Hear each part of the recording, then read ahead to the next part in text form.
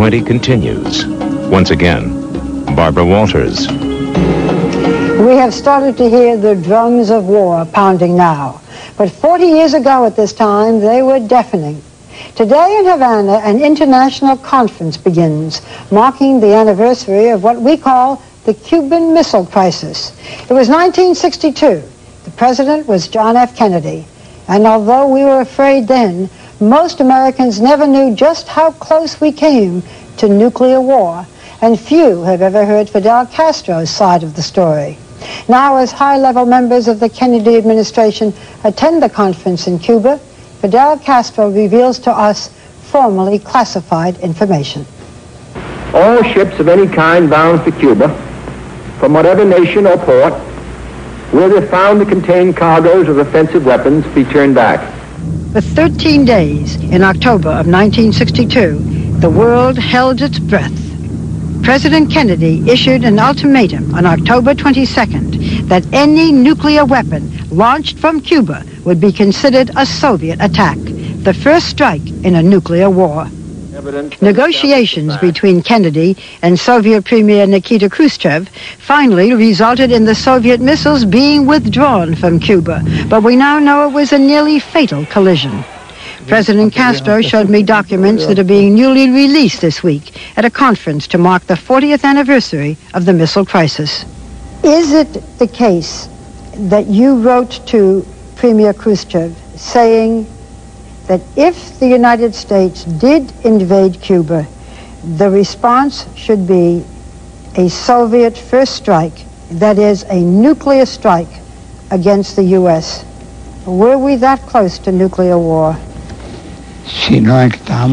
Yes, we were very close to the nuclear war, extremely close. Yes, I said to Khrushchev, there is going to be an attack. In that case, do not give your adversary the possibility of a first strike that catches you off guard. Later, there was a great controversy because he misinterpreted my words. He said that I had said to him to deal a first strike, a preemptive strike to begin a war. And I never said that.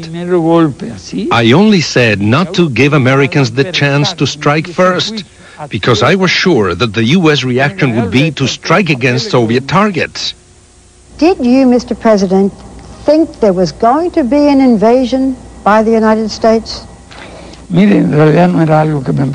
it was not something I was worried about because we had been expecting it for a long time. The number of weapons we had at that time made us feel confident that we would be able to defend ourselves and resist. Resist who knows for how long. I think a long time. Perhaps we would have been the first Vietnam. So we were not afraid. Uh, was, that was not the reason for us to accept those missiles. Having the missiles in Cuba was very important for the Soviet leaders. I think they were very worried. The Soviets were. Even though Nikita was a bold man, he was a courageous man, and I can make criticisms of him. I realized it from that time the political mistakes he was making, which would later contribute a lot to the crisis because he did not tell the truth to Kennedy. In fact, he misled Kennedy. That was his main flaw.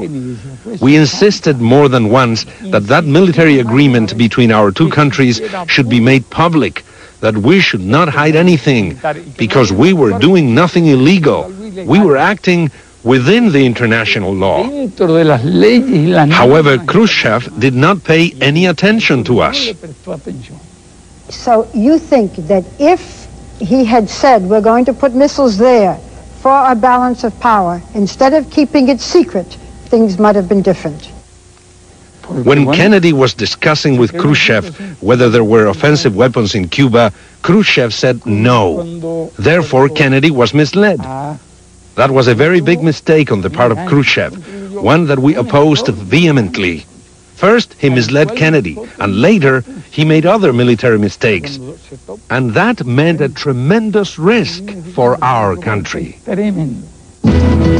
When 20/20 continues, so enigmatic, not even the Cuban people really know his private life.